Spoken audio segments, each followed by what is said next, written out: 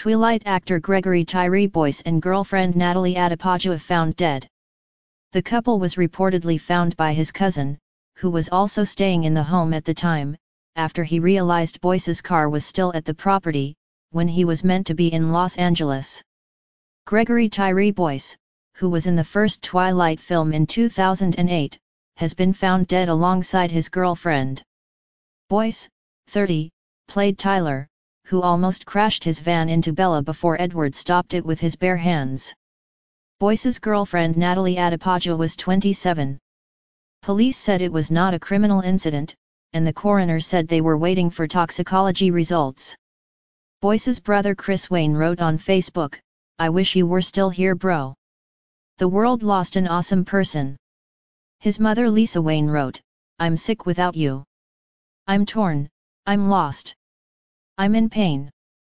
I'd text you or call you when I was broken or worried about something, and you'd tell me, Ma, I got you, we'll get through this together. Boy! Why did you leave me?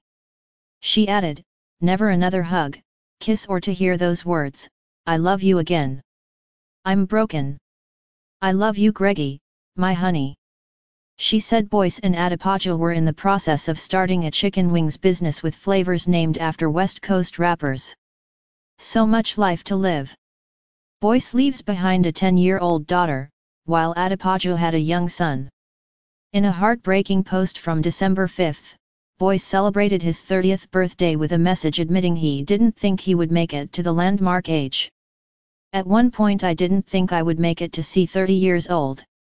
Over the years like everyone else I have made mistakes along the way, but today is one of those days I only reflect on the great ones. What a time to be alive, he wrote. Happy Dirty 30 self. Let's make the rest of these years your best. In his final post last week, he declared his love for his girlfriend on US Mother's Day, stating, Happy Mother's Day again to my right hand slash my roll dog slash my queen. Love you. A GoFundMe page for Adepoju's funeral said, Natalie had so much life to live we are saddened that her life was cut short. The Clark County Coroner's Office, which covers Las Vegas, confirmed the news to various U.S. media outlets, telling USA Today the causes of death were pending toxicology results.